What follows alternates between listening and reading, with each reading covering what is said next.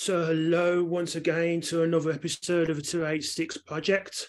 My name is Chris Akers, and on here we always talk about art, culture, sports, politics, and everything else we can think of. Today's guest is Dr. Danny Fitzpatrick, who's a lecturer in uh, politics and international relations. Um, hi, Danny. Thanks for coming on to the podcast. Hi, Chris.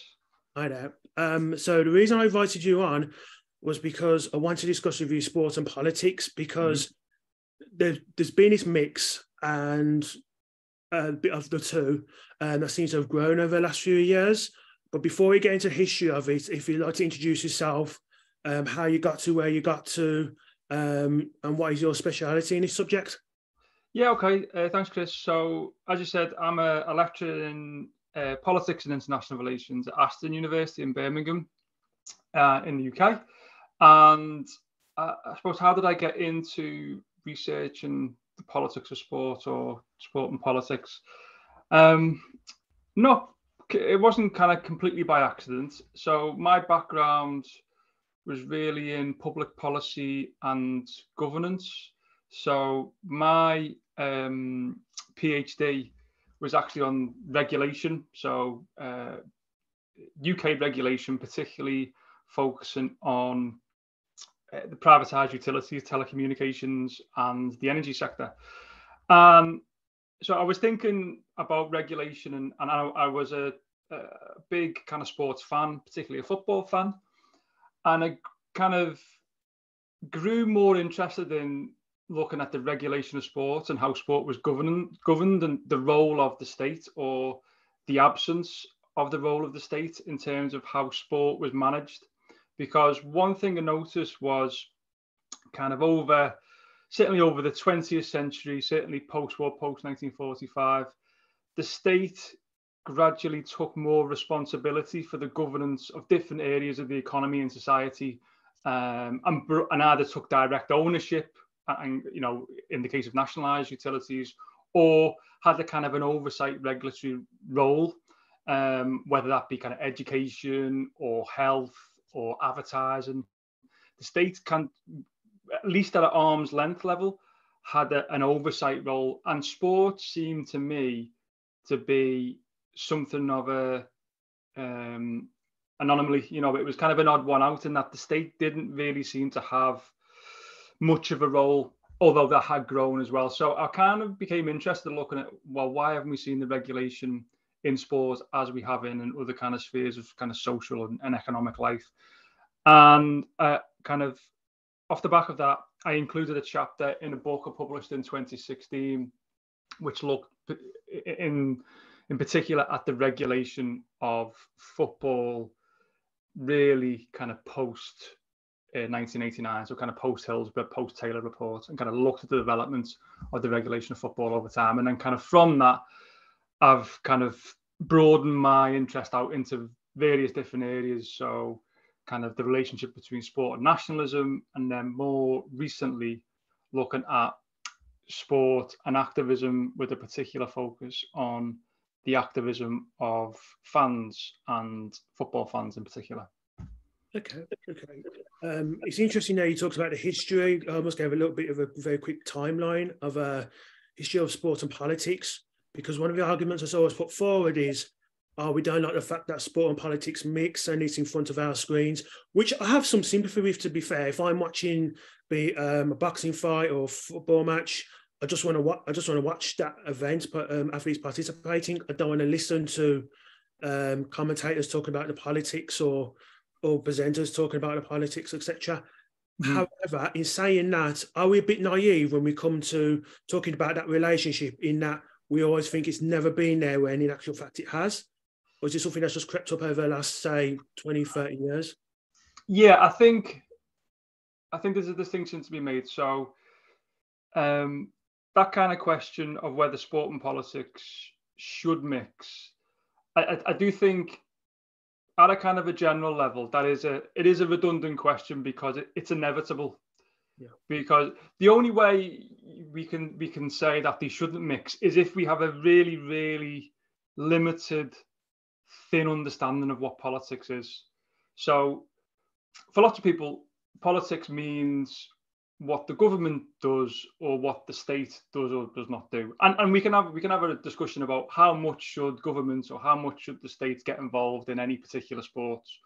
Most people think actually um, states should encourage sport, should fund sport, should have a responsibility to provide community sport. But that but leaving that to one side, if we kind of take politics at a broader level, then it's inevitable. It, it, politics and sport will always mix because sport is a part of society. So sport is not this kind of isolated sphere that we can bracket off and kind of make it impermeable to other things that happen in society. It's part of society. The individuals who participate in sport are citizens, are subject to the rules of that particular laws of that particular land, and will have their own attitudes and and own issues and own grievances. So, in that sense, it's it's inevitable, and I think the best way to think about it is um,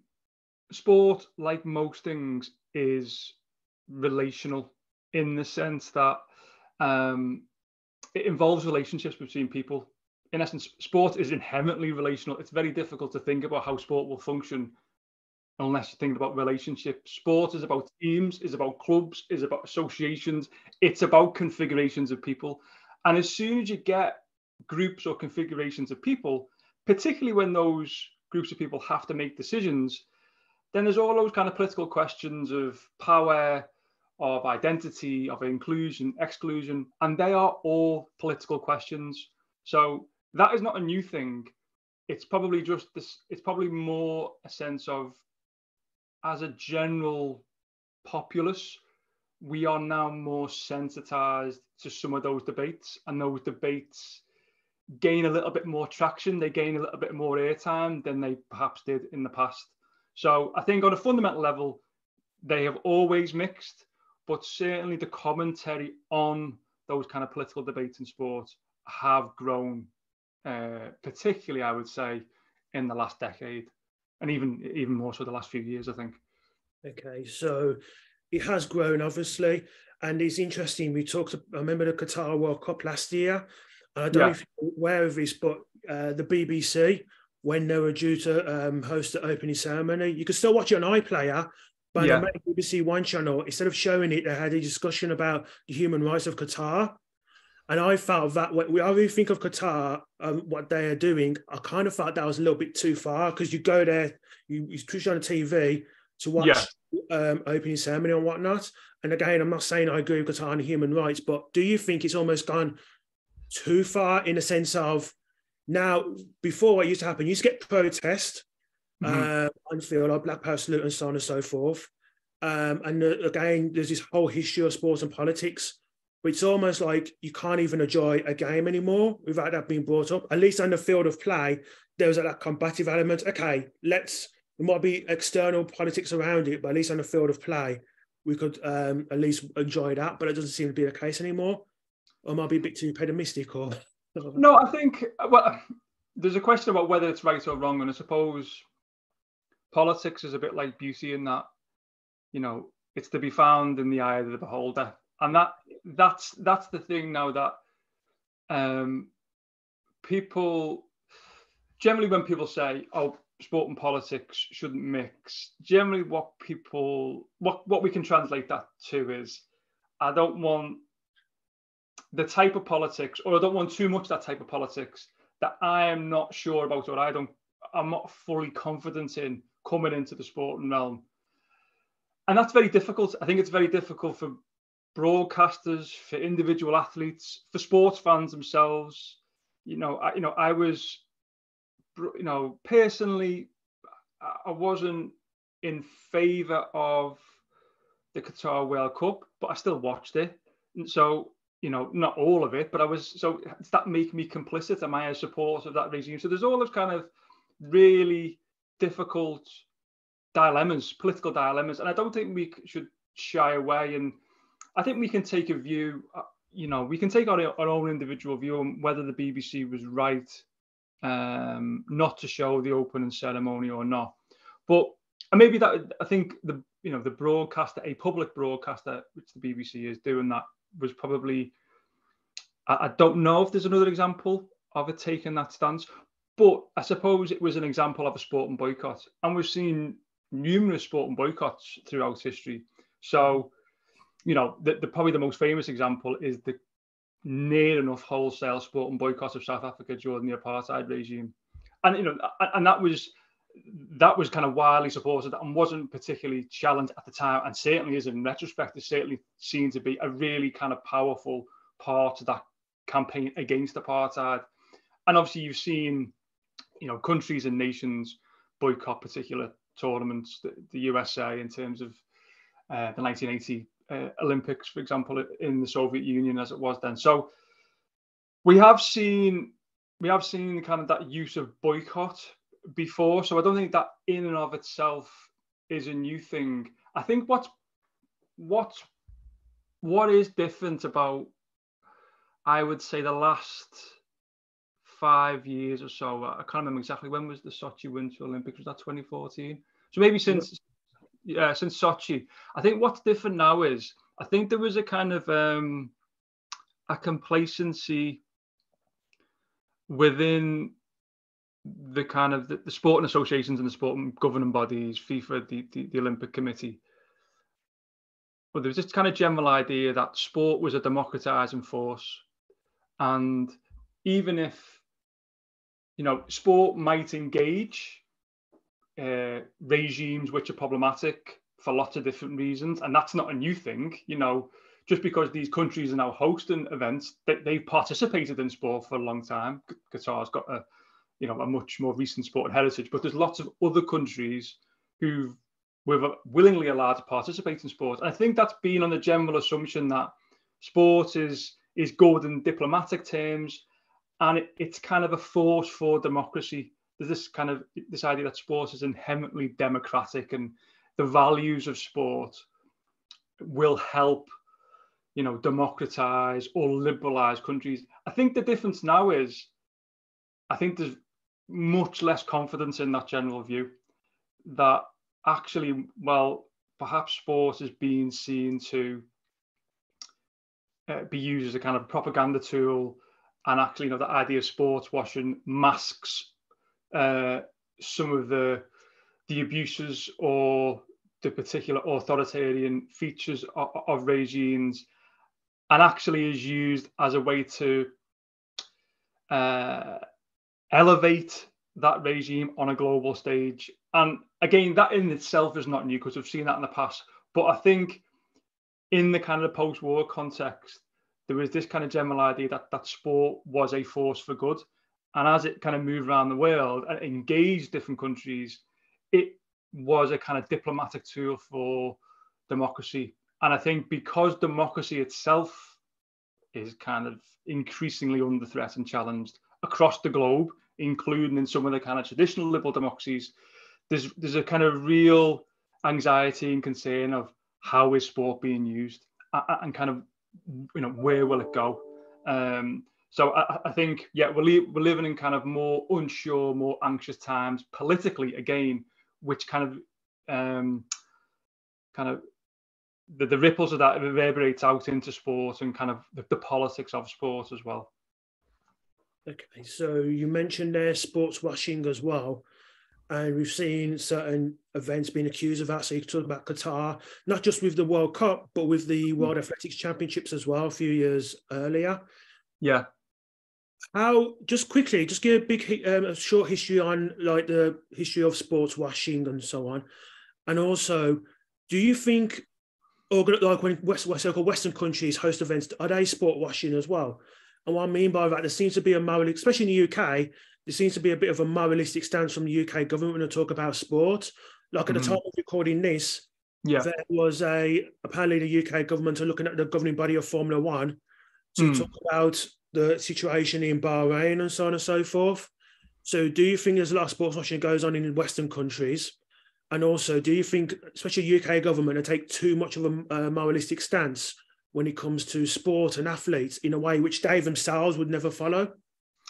Yeah, but that that is that's kind of the the criticism that's kind of leveled at governments that um, you know, we might criticize, you know, there, there might be particular commentators or even maybe politicians who might criticize, let's say, Saudi investments in Newcastle United via the PIF fund, but the UK government, you know, willingly trades arms with Saudi Arabia, which are used in the conflict with Yemen, and, and how how can we reconcile those two positions?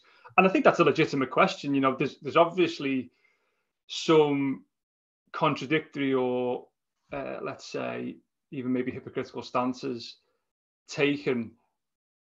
I think that perhaps the difference, um, not to kind of explain those kind of contradictions and hypocrisies away, but perhaps the difference with sport is the kind of the emotional t- attachment that people place to it, which it it does make it different from most other things, even most other kind of cultural pursuits. The, the, the notion of fandom and the peop- and the idea that people feel emotionally attached, you know, to a particular sport or particular athletes or a particular, you know, nation competing in that sport or a particular club, and that identification with it, the, the sense that it is part of their identity, makes it, I think, a very, very powerful mechanism uh, and a mechanism of influence for kind of changing people's mindsets and views. Um, so I think there is there's the potential for legitimate argument. Say sport is slightly different, and I say that again, it doesn't kind of um, it doesn't qualify all the kind of contradictions. And, and the point about kind of the Western um, bias or the Western uh, kind of centric viewpoint, I think that's a good one as well. And I think that was kind of really that was really really evident if you in terms of the Qatar World Cup last year because uh, I was engaged in some debates and some events um, online, and although it was a major topic of conversation in the UK media and some kind of Western European media, and to a certain extent the US media, other people I spoke to who were based uh, in other parts of the world, some in Qatar itself, some in other parts of the Middle East, some in Asia, some in Latin America. It, it, it just wasn't a debate. It just wasn't a topic. So we are definitely susceptible, I think, in the UK and perhaps in Western Europe, to thinking, uh, you know, in, in a kind of a Eurocentric way that sport is ours and you know sport originated here and we can project out from there a little bit and actually there's very little engagement with what what other people around the world think. And I don't, and I don't want to kind of make a model model morally relative point that everyone's viewpoint is is you know is equally valid and, and we can't make our own moral positions on things. But I do think it's worthwhile kind of breaking out of that a little bit sometimes and, and thinking about, oh, what does the rest of the world think about these things? And not just assuming they all think the same as us, because that is clearly it, it, it isn't it isn't the case. And you, you kind of point about the Western governments um, sports wash. Um, that's an interesting one. I, I, think all, I suppose, all international events, at least in part, they're about national prestige, national pride, and projecting a particular image, you know, of the nation outwards and inwards. Um, whether we would classify that as sport washing, I think that's you know it, it's up for the debate. If you look at kind of US sport and kind of how nationalistic and militaristic it is, um, then you could argue it's certainly projecting a particular image of the country, you know, as say both to the its own population and outwards. Whether we would kind of classify that as sports washing, I'm not sure. But yeah, the, the, there's parallels there to be to be drawn. It's not as if all Western countries invest in sport and you know host sport events purely for the love of the sport itself, and there are no kind of other ulterior motives. You know, clearly there are kind of economic, cultural, but also a kind of uh, wider questions of soft power as well. So yeah, I think I think that they're not. It's not a kind of a, an either or situation that the parallels to be drawn across lots of different countries. And it's not just a question of kind of authoritarian or illiberal regimes. Okay, so what role does the news media play in this? Because I remember back in the 90s as a teenager, I was I did sports science. I remember we talked about this mm. jingoistic fervour sometimes that the news media create, especially at that time when it was to do with, say, England versus Germany or England versus Argentina. Does yeah. that happen so much now, this conflict, or do they? How do the news media interweave like the politics and sports, you know, now compared to say 30, 40 years ago? Oh, that's a good question. So yeah, so sport is a obviously a kind of very, very heavily mediated spectacle, and it is the global spectacle. So I think sport is more important um, to media than it ever has been. Um, you know, you can see that in terms of the money that broadcasters are willing to to pay for the rights. It, it it's not shrinking. It, it, it is growing, and it does seem to be in kind of insatiable appetite for sport. I also think about if you think about the kind of the wider changes in media and the advent, obviously, of of online media, that kind of uh, that the kind of the battle for for eyeballs, if for, for, for, you know, for want of a better phrase, you know, for people's attention, you know, that is at the kind of the heart of media capitalism. You know capturing people's attention and hopefully capturing their data through that and you know being able to sell advertisers on the back of it that is the kind of the number one business globally. So and sport is kind of absolutely kind of central to that. So i think that kind of relationship between sport and media is it, it, it, kind of more important more significant than ever. The kind of question about the kind of the more the the role of the press um and you mentioned kind of the particularly the English tabloid press when the English national team played Argentina and uh, and Germany Euro 96 and World Cup 98 and before that, particularly in the 1996 game against Argentina. Yeah, there were kind of really heavy nationalistic military overtones. You know, you didn't need to be a particularly, you know, he didn't need to do any kind of critical discourse analysis. It was kind of in the headline, front and center. I think, you know, and I'm not, I'm not analysed that change over time, but kind of my own view, anecdotally, is that that has reduced, that has receded a little bit. Um, yeah, without kind of having any kind of real evidence to back it up, I, I don't think that is as prevalent uh, as it as it once was.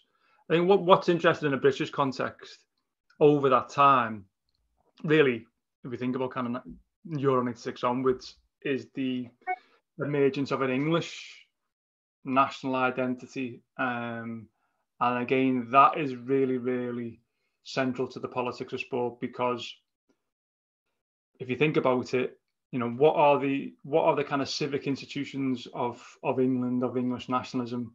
Well, there's only really the English national team. There's no English political, you know, there's no kind of parliament, English parliament.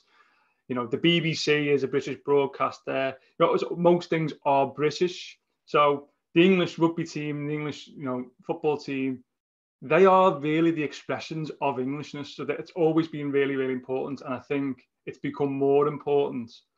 I think what what's been interesting to witness over the last few years while Gareth Southgate as, has been England, England football manager, is he has made a concerted effort to actually articulate a more progressive, more inclusive version of Englishness, perhaps more so than anyone else. Um, so I think I think that's a really kind of interesting de- development. So yeah, I think that kind of nationalistic fervour uh, has receded, thankfully, a little bit. Um, but yeah, this kind of idea of English national identity is kind of an interesting development over the last 20 or so years. Okay, so going back to a statement you made, you talked about why sport could be different, and one of the reasons you gave was this emotional attachment. Mm-hmm. So why would that make it sport different for, say, something like music? In the mm. sense, people do have an emotional attachment to uh, music, especially certain bands. Um, so what would be the difference between the two in that respect? That's a good question. I think, and, and there is there is kind of studies on fan activism which looks at the relationship between uh, the fans of particular music genres or even particular music bands and how that influences their political thinking and political activism. I know there's a study on um, the fans of REM and kind of looking at the kind of the, the kind of political and the kind of social sociological aspects of their fandom. I think I know this I'm biased because I look at kind of sports fans. I think one of the key differences is is that sport, particularly uh, team sport, and most of my research looks at um, football supporters. One of the big differences with that is it's rooted in a place. So often for political participation to kind of take hold, it needs a space, it needs a kind of geographical uh, entity around which to coalesce. Now, if we think about what, what the traditional spaces, the traditional you know places where politics took place at a grassroots level, well, major one is, is religion. So you know the church or other religions are major spaces in which kind of political participation and mobilizations can happen. The workplace and the role of trade unions and kind of other kind of community and civic associations. Well, if we look at all of those, the role of all of those things has been eroded or is reduced in society as kind of parts of associational life, places where people go and associate with the people and talk about politics and maybe get involved in politics. Yeah. So one of the arguments that I make with, with a, one of my fellow authors, uh, Dr. Paddy Hoey, is that one of the reasons why we, we're beginning to see activism amongst football fans is that it's one of the few places that is left where people go on a regular basis and mix with other people and talk about issues they care about. So I think that kind of rootedness in place is one of the distinguishing uh, characteristics of sport. The other one, I would say, is that unlike music, generally it might apply to music, but much less so, is that sport and sports fandom tends to be intergenerational. Yeah. So, you know, allegiance to a particular club or the, the, the love of a particular sport, not necessarily, but has a tendency to be passed on to children or other family members or other kind of like-minded people. That can happen with music, but I think it's less well developed. So yeah. music is seen, even when it's a kind of a collective experience, it's seen as a more, I think, a more individual uh, pursuit. There are the opportunities to those collective experiences, gigs, festivals, but not in the same way, I don't think, as sport is. Okay, so there's more of like a rites of passage. So, for example, if you're supporting a football team or rugby team, or even into boxing, which is my sport, there's mm. almost quite a passage where the father would do it, and then he, his um, sons would do that particular sport, either take them down to the game, or if you're in boxing, take them down to the gym, etc.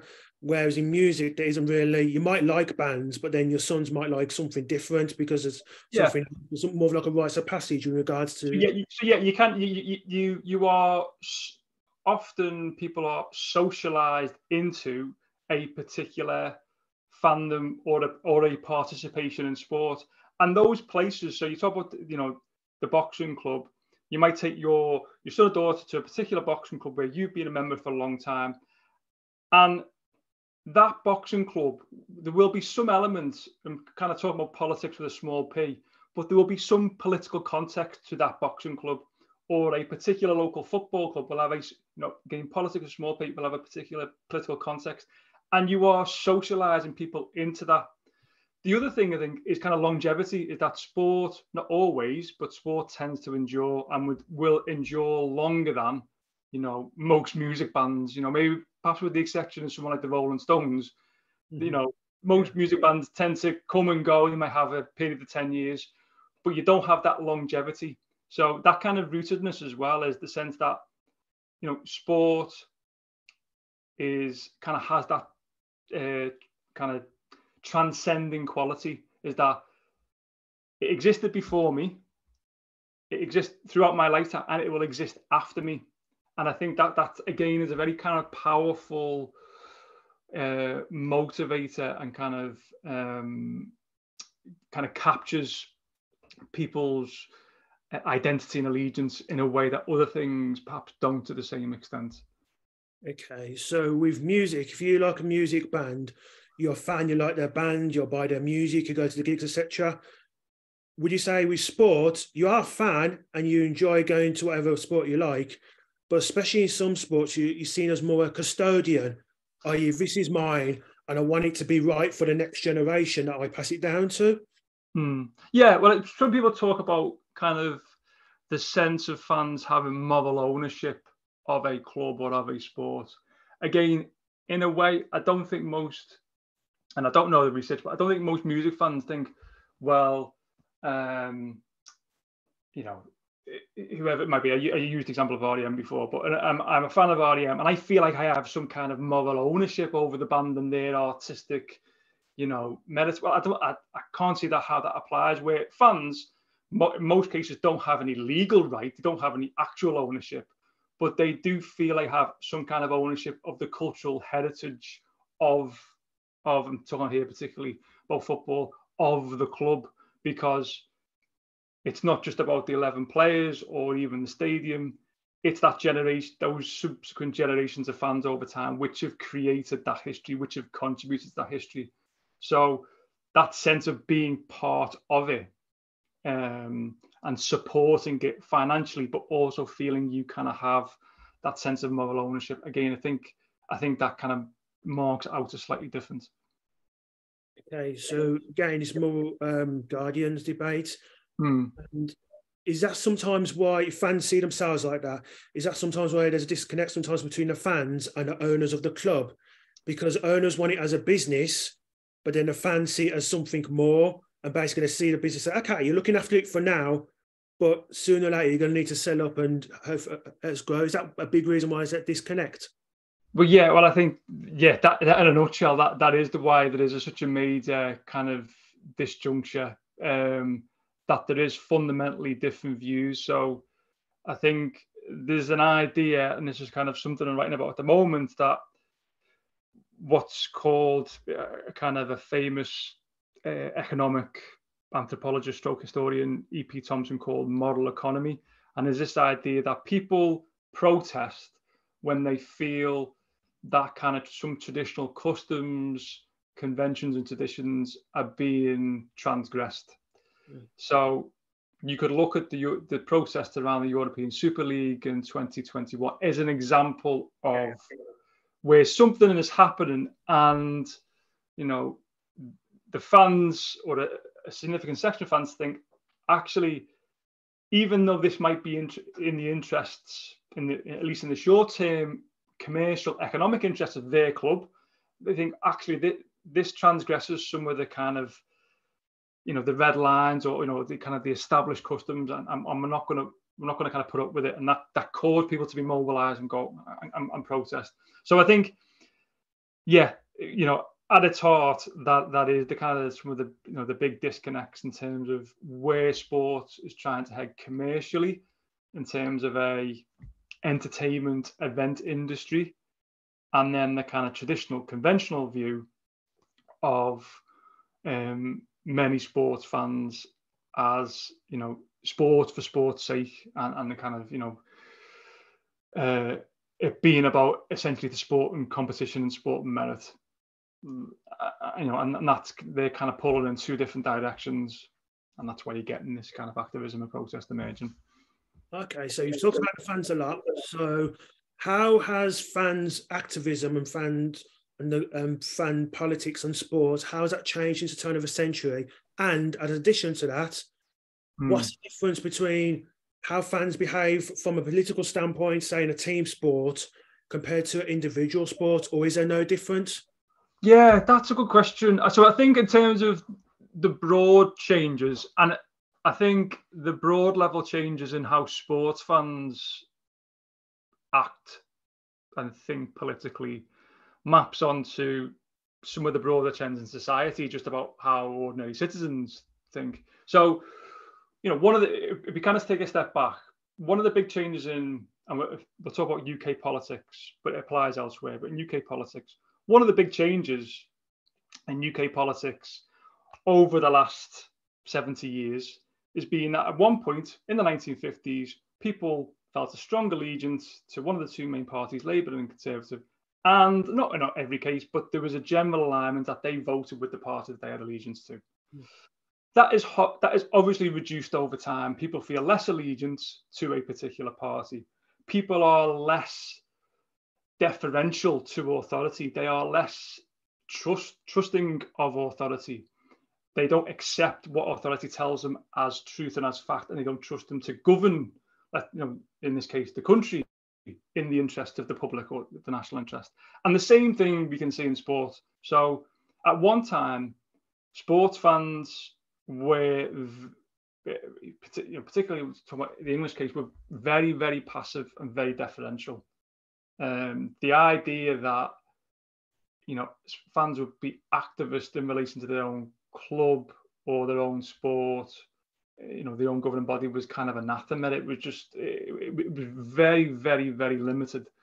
So i think fans like citizens are more critical of the information that they receive. They scrutinize what those in charge do and are willing to protest against those in charge um, and uh, why is that? Um, I think there's a few reasons. I think the big one is the level of education in society in general. So not that necessarily people are better educated, but they are certainly better informed.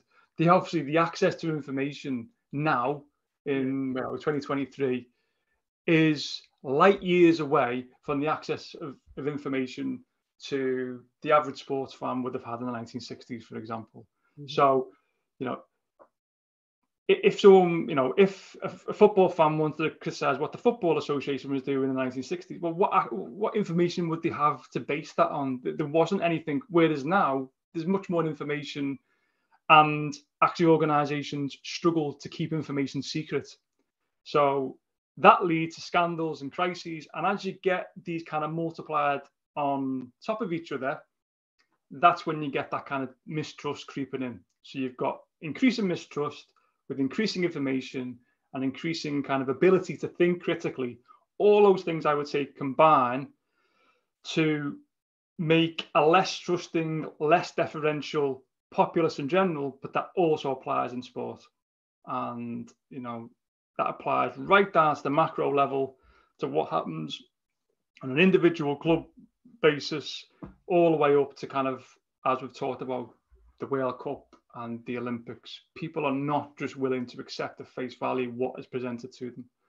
Um, so I would say that is the kind of the big change. It's a change in society in general.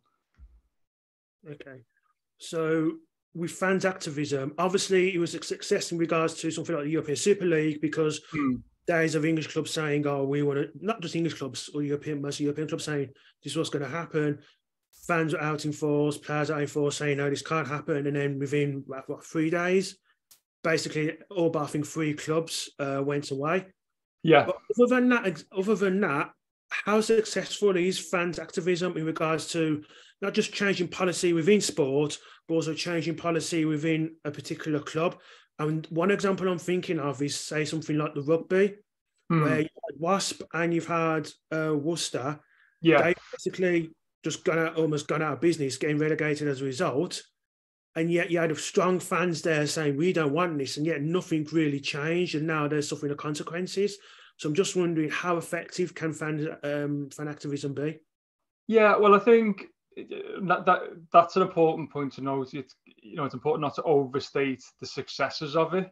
Um, so just because we're seeing more activism and more kind of movements within sport doesn't mean that they're all successful. Uh, you know, of course they're not. So th- there's probably much more examples of uh, failed attempt, attempts to kind of really produce significant change, or in those cases, kind of arrest or, or, or stop what a process of events which which was already kind of in motion and there are obviously major financial constraints to those situations. So there's there's lots there's lots of examples in sport where fans have mobilised and they haven't ultimately achieved their aim. But again, that's not that's not um, that's not particular to sports. If we look at kind of most social movements, they don't ultimately achieve what they're trying to do.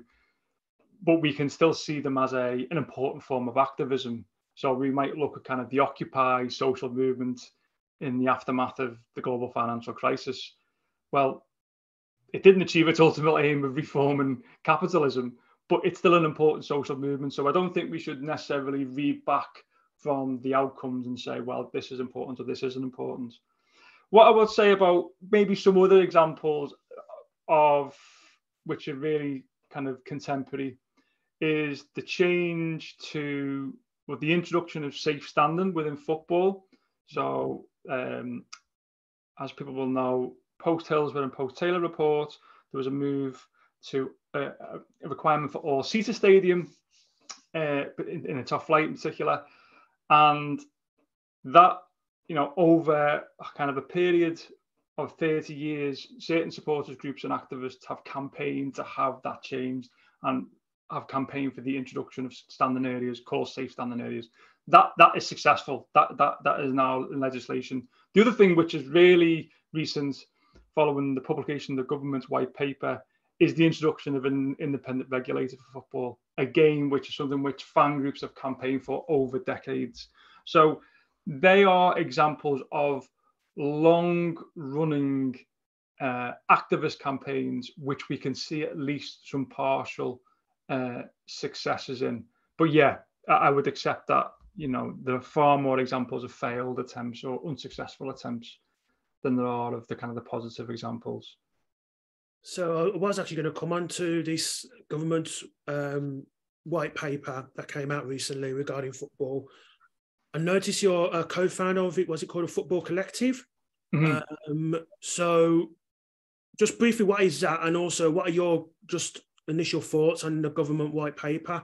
Is it overregulation? And uh, point to that, I know FIFA they have a rule with regards to government overreach of mm. countries. So, how would that government white paper and a possibly regulator affect that FIFA rule?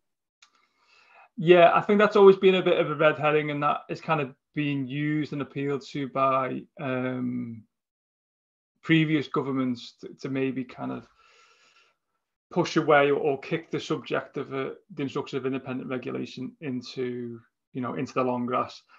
I think the, the, the introduction of a, regulator is really about ensuring the sustainability, the financial sustainability of football. So in essence, it's trying to kind of save football from itself because the financial dynamics of football kind of have have gotten out of control and have led to particularly kind of wage and transfer fee inflation.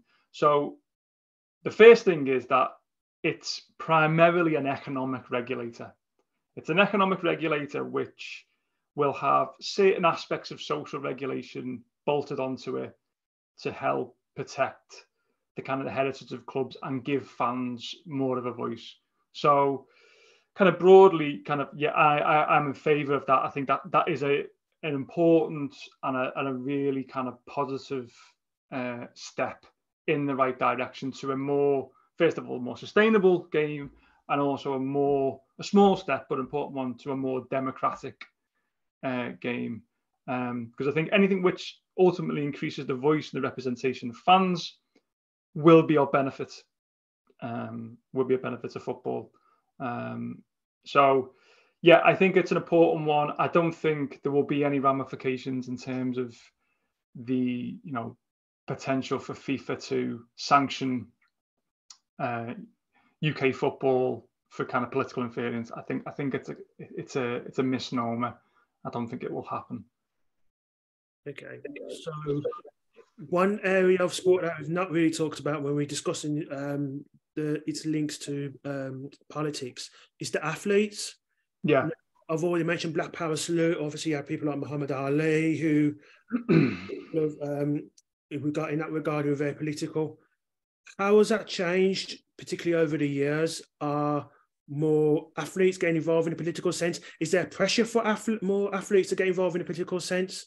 because you get sometimes get the impression that some athletes may not actually want to have a political voice, they just want to go out in there and compete as best they can. Yeah, I don't know whether um, kind of the question about the kind of pressure and whether people feel compelled to. I don't know. Obviously, the, the, the, vast majority of athletes choose to make no political statements. There's, there's maybe a, a distinction to be made there with political gestures and political symbols. You know, like anything, you know, people most of the time people want to conform. So to to kind of make a stance and separate yourself out, that is obviously a that bears more social costs. So someone like uh, Wilf Zaha, when he said, "Well, I'm not going to take the knee anymore because I don't believe it's having an impact," you know that that perhaps kind of is more risky. So yeah, maybe there is a kind of a, a compulsion to conform with whatever the consensus view is at that time. But I think in general, I don't know whether they feel more pressure to be activist as such. Um, I think there has been definite uh, changes. I think the major one for athletes is the kind of changes in power relations, you know, particularly at the kind of the really top elite level. The relations of power between individual athletes and their teams or franchises in, in, in the US, their clubs and their associations and leagues, that is very, very different than it than it was, you know, certainly if we're comparing them to in the 1960s to the likes of John Carlos and Tommie Smith or Muhammad Ali, but even you know to the 1990s, it's it's very very different. So it, it's an extreme example, but if we take someone like LeBron James, and, and, and this is probably the most extreme example, but it's, it's useful to kind of illustrate the point. He's obviously massively economically powerful. I think his net worth is about 1.2 you know, 2 billion.